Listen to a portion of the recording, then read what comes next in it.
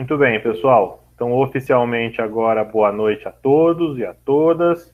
Vamos aqui nossa primeira sessão de tirar dúvidas da disciplina. Hoje a gente vai trabalhar a parte do, da, da sessão de tirar dúvidas de uh, sobre meiose, tá certo? Então, espero que todos tenham conseguido assistir as, a, a aula lá no YouTube. Se vocês tiverem qualquer problema, vocês me escrevam, tá bom? Não, não se acanhem.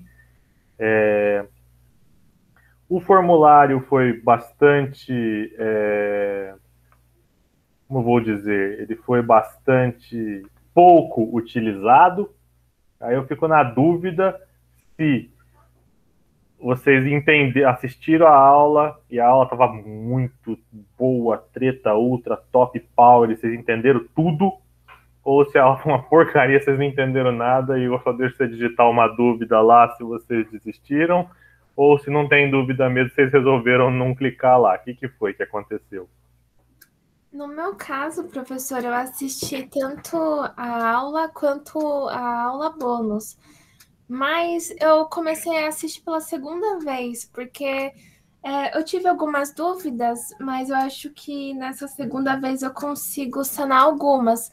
Mas as que restarem eu deixo lá é, no, no campo de perguntas. Tá bom, e vocês, se vocês quiserem fazer pergunta agora, vocês podem fazer, tá?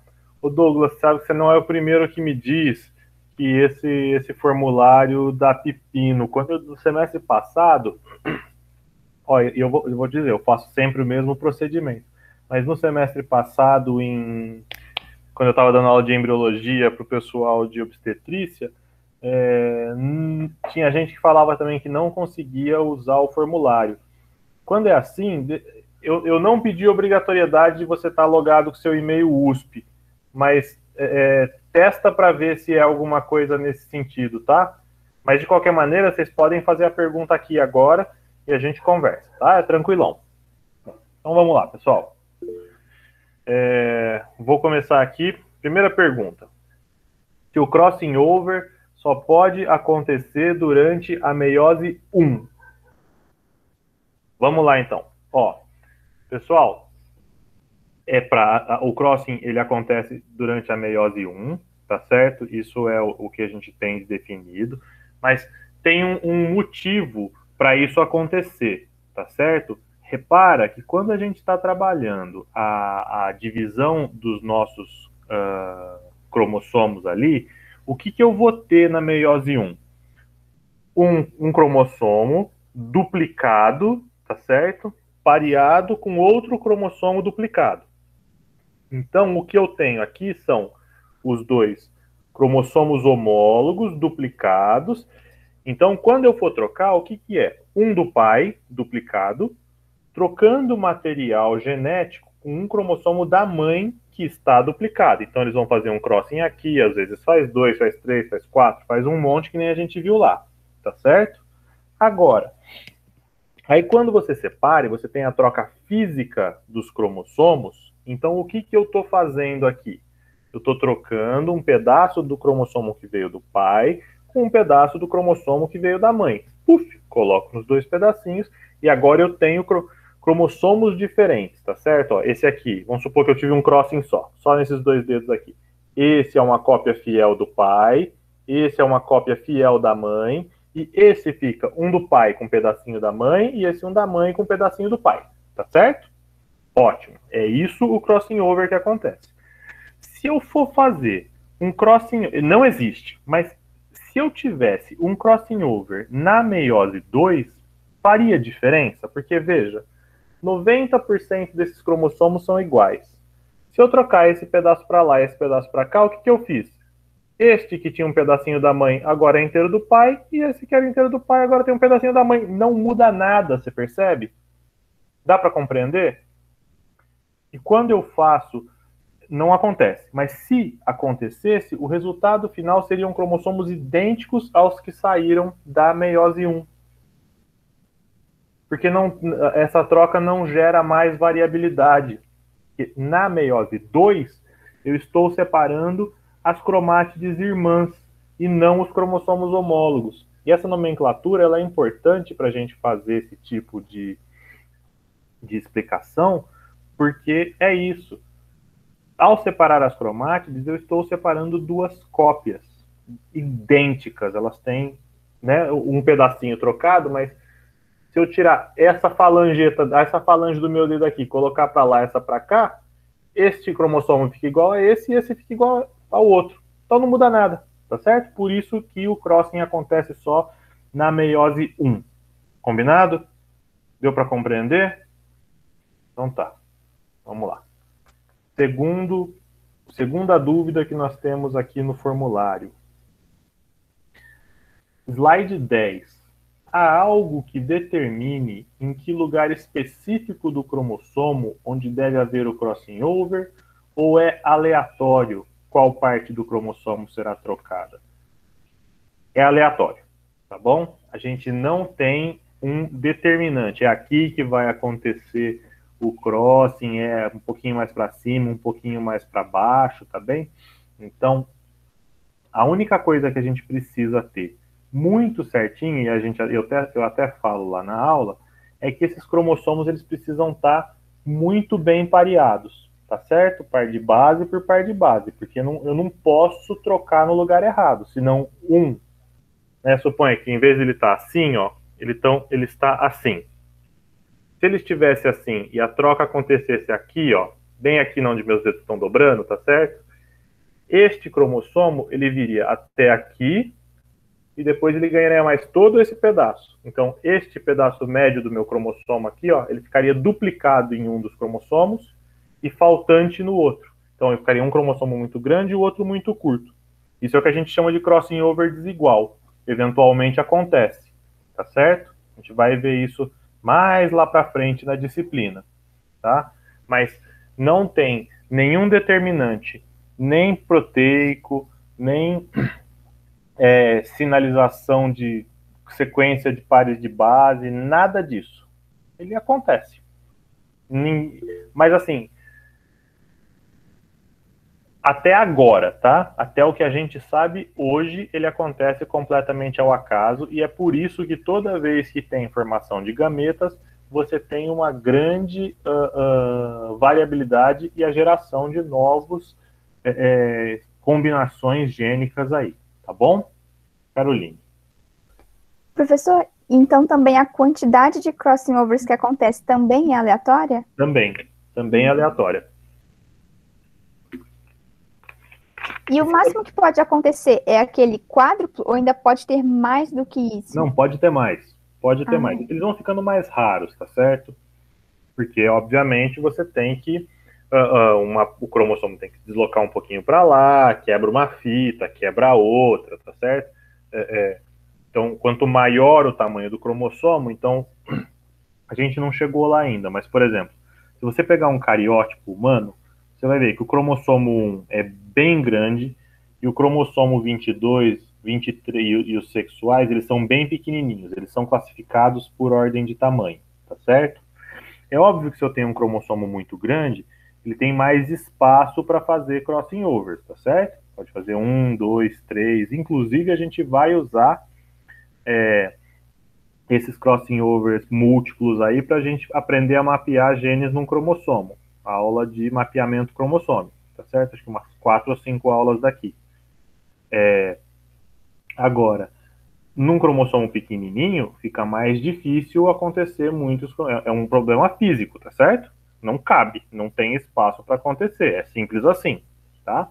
Mas não tem um, um número pré-definido por cromossomos, não. Tá bom? É... Vamos lá. Continuando aqui a dúvida. No slide 10, se eu poderia explicar melhor a imagem inferior que mostra a troca detalhada. Posso sim. Deixa eu compartilhar aqui com vocês, então uma janela aqui. aqui. Pronto.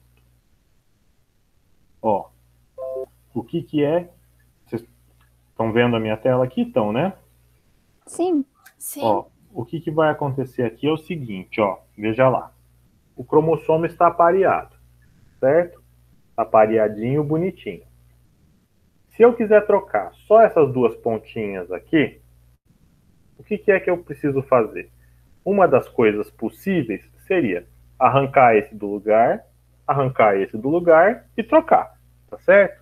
Só que a chance disso dar ruim é um negócio monstruoso. Por quê? Essa, essa pedaço do cromossomo ele ficaria solto no, no dentro do, do citoplasma ali, tá certo? E isso a chance de se perder seria bem grande, porque lembrem-se, as fibras do fuso estão ligadas, ó, somente aqui na região do cinetócoro, tá certo? Não estão ligadas aqui. Aqui é um pedaço livre. Então, o que, que precisa acontecer? Você tem lá o DNA. O DNA é um filamento duplo, tá certo? Então, você vai fazer como? Quebra primeiro uma das cadeias de cada cromossomo, quebrou, abriu, tá certo? E aí, a hora que você abrir, você vai fazer um entrelaçamento. Cria, gruda este e esses duas ficam intactas. Aí, a, o que, que vai acontecer? Este pedaço aqui, ó, ele não se, pre, não se, só, não se perde mais. Depois eu posso, então, quebrar esses e, inver, e inverter para depois trocar o pedaço. Tá certo? Então, quando a gente vai fazer essa troca, com, com, com os dedos assim é difícil. Se a gente tivesse na Yasha, eu levava um, um, um, um barbante para a gente fazer. Mas pensem assim: eu tenho duas fitas de DNA. Se eu cortar as duas, esse pedaço se solta. Então a chance disso se perder é enorme. Então o que acontece? Eu quebro as pontes de hidrogênio aqui no meio, quebro num pedaço. Então esse pedaço aqui, ó, suponha que isso aqui é o meu DNA, tá certo?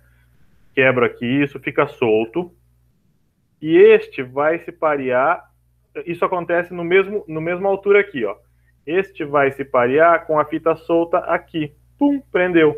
Desse outro, do homólogo aqui. Aí, uma vez que eu tiver a híbrida, eu posso soltar essa e prender para cá, junto com a outra fita do DNA. Deu para compreender? Eu vou ver se eu acho um vídeo. Eu vou ver se eu acho algum vídeo é, de animação no YouTube, porque sempre tem. Tem um, uns vídeos bem bons ali. É, eu vou ver se eu acho, eu coloco de, de, de material bônus lá na, no E-Disciplinas, tá bom? Mas basicamente é isso. Você não pode quebrar as duas fitas de uma molécula de DNA ao mesmo tempo, você vai perder um pedaço do cromossomo, né? Então, você quebra uma, quebra as pontes de hidrogênio, ele vai ficar soltinho na vida. Aí você quebra uma, ela hibridiza com o outro lado. Depois que tiver seguro, você quebra a outra e aí ela hibridiza e você tem a troca inteira. Tá bom? Não sei se ficou claro. Para quem tinha dúvida, principalmente. Tá, então tá. Vamos lá que a dúvida continua. Slide 14. Na metáfase 1, a. Peraí. Na metáfase 1, há algo que determine qual cromossomo vai para qual lado da célula? De novo, não. É aleatório, tá certo? Então, por exemplo, no, na hora de formar os gametas, nós, seres humanos, 23 pares de cromossomos, tá certo? Todas as combinações ali são possíveis. Vamos supor, tem, então tem que ir 23 para cá, 23 para cá, tá certo? Pode ir 23 do pai para cá e 23 da mãe para cá? Pode. Pode vir 21 do, um do pai e 22 da mãe e vice-versa aqui? Pode. Dois? Pode. Tá tudo certo. Todas as combinações são possíveis, porque uma vez que esse cromossomo chega no, no, numa nova célula, ele perde essa origem. Ah, eu vim da mãe, eu vim do pai. Agora desceu o cromossomo. Certo? Seu pai já te deu, ele acabou. Não tem mais essa, ah, esse aqui é do pai. Mentira, às vezes tem, mas vamos simplificar. Tá bom? E aí o que, que você vai fazer? Na hora de dividir, não tem nenhuma preferência. Aleatoriamente, vai para um lado, vai para o outro, e você tem aí todas as combinações possíveis, 23 cromossomos para a par, migrando para um lado e para o outro. Vocês já fizeram probabilidade estatística lá com o Calisto? Não? Só porque eu ia colocar essa pergunta na, na prova, quantas combinações diferentes de cromossomos do pai e da mãe a gente tem? Olha que pergunta boa. Essa aí. Você fez, Luan? Então, ó, quem já fez aí já consegue fazer essa pergunta para mim aí, ó. Combinação para par, 23 pares de cromossomos, tá? Rúbia. Professor, mas nessa divisão, é, se uma célula ela fica com é, apenas o, a informação da mãe, por exemplo, não corre o risco de ela ter alguma anomalia? Olha, você tem que pensar que aqui a gente está formando gametas, tá certo? Quando eu vou fazer, é, se, eu, se, eu, tiver, se a gente tiver, ó, vamos, vamos fazer só uma divisão. Se a gente tiver trabalhando com mitose, na mitose você vai sempre receber um do pai, um da mãe, um do pai ou da mãe, cada um, cada parzinho para uma célula, tá certo? Então a sua constituição genética se repete em todas as suas células. Na meiose, você está formando os gametas. O gameta, com todos os cromossomos da sua mãe, você já recebeu um assim, tá certo? Era o óvulo. Você está simplesmente numa fração ali de, do, do, dos cromossomos, dos, dos, dos gametas que você está gerando, você está replicando exatamente o óvulo que você recebeu da sua mãe, tá? Então isso é possível de acontecer, né? E aí, obviamente, se esse óvulo for para frente, for ser fecundado, ele vai ter uma nova adição, tá certo? De cromossomos paternos, e esses cromossomos paternos vão juntar ali, vai virar 23 pares, obrigado, tchau, vamos gerar o próximo zigoto. Então, não tem problema nenhum, tá certo? É só questão aí de probabilidade mesmo de que tipo de, de gameta que vai ser formado. E todos eles vão ser formados mais ou menos aí na mesma proporção, tá? Então, okay. então pensa, quando a gente está pensando, falando de, é, de irmãos, irmão, é, pode até ser gêmeos fraternos ou irmãos é, é, que não sejam gêmeos univitelinos, né? Por que, que às vezes saem irmãos tão diferentes? As combinações de cromossomos que podem ir para um lado e para o outro, elas já são um número elevadíssimo. Você não me peça para fazer essa conta, eu não sei, tá bem? Mas além disso, você ainda tem em cada uma das células, além das combinações de, de, de aporte de cromossomos de um lado e para o outro, você ainda tem os crossing overs. Ou seja, além de você mandar as combinações dos 23 para a par para um lado e para o outro, você tem as mudanças que vão levar pedacinhos diferentes de cromossomos. Então isso vai gerar ainda uma variabilidade enorme. Ela é a ponto, vou te dizer aí que como, como é, é aleatório, e a gente tem 3 bilhões de pares de bases no nosso genoma e, e, o crossing pode acontecer em qualquer lugar, mais de uma vez e em mais de um cromossomo, eu te diria que as possibilidades aí são infinitas, tá bom? Caroline. É, professor, então já que assim, a célula só sabe que tem que ficar 23 cromossomos para um lado e 23 para o outro, é, o que, que, determina essa quantidade? Porque isso é uma quantidade do ser humano, mas tem outros animais que têm menos cromossomos, né? Como é que o organismo sabe?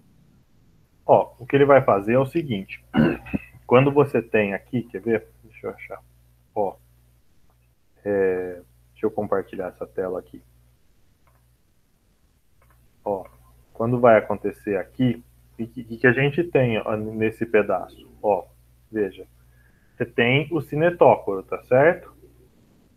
Esses cinetócoros, quando você tiver essas fibras do fuso ligadas aqui e eles estiverem pareados ali no centro, o que ele vai fazer? Ele vai puxar um para cada lado, tá? Esse é o processo normal. Aqui na metáfase 1 ele vai puxar o cromossomo duplicado, e se a gente descer na metáfase 2, ele vai puxar as cromátides irmãs, uma para cada lado, tá certo? Esse é o processo que acontece normalmente. 23 para lá, 23 para cá. É sempre assim que acontece? Não. Vocês já ouviram falar de síndrome de Down? O que, que é a síndrome de Down? É uma pessoa que tem três cromossomos 21, tá certo? E o que, que isso significa? Na hora de fazer o gameta, alguma coisa na meiose deu errado, que em vez dele puxar um cromossomo para cada lado, dois cromossomos foram para o lado de cá e nenhum cromossomo foi para o lado de lá. E na hora que fecundou, ele, esse aqui tinha 24 e chegou um, um espermatozoide com 23 e agora nós temos um, um, um indivíduo com 47 cromossomos. Tá certo?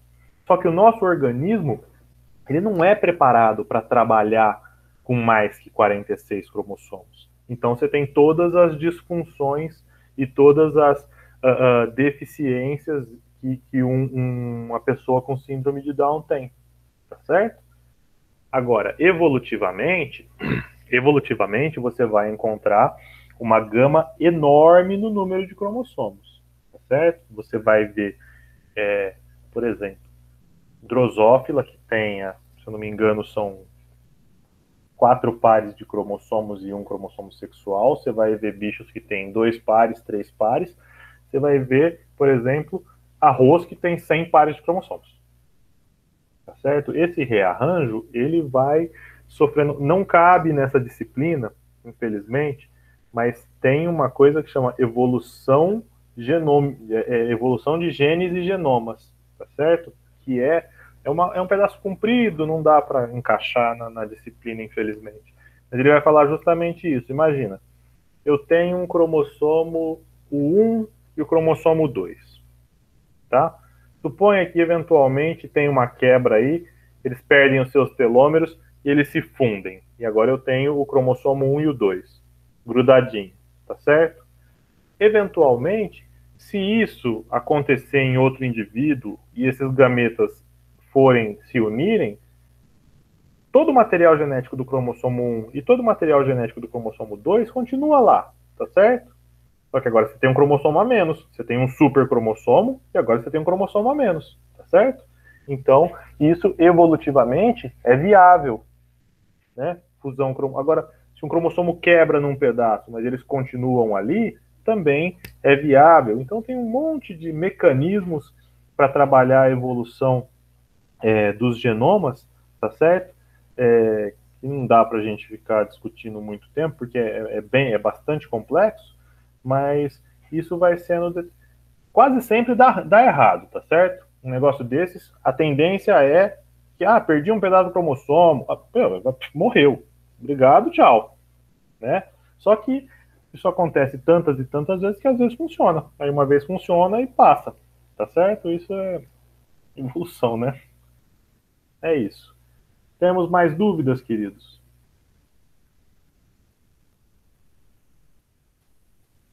Nada? O formulário acabou. Nada, nada? Então tá bom. Então eu vou parar a gravação. Espera aí.